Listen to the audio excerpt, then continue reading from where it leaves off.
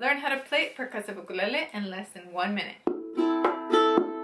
Okay, we're gonna hit with the side of our thumb where the bridge and saddle are. That's your bass. Now, downstrum. So you got bass, downstrum, bass, downstrum. Now get your snare.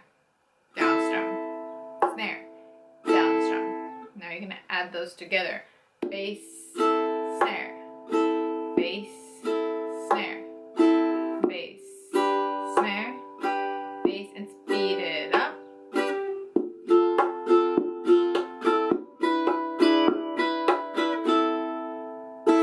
Subscribe for more ukulele tips and videos.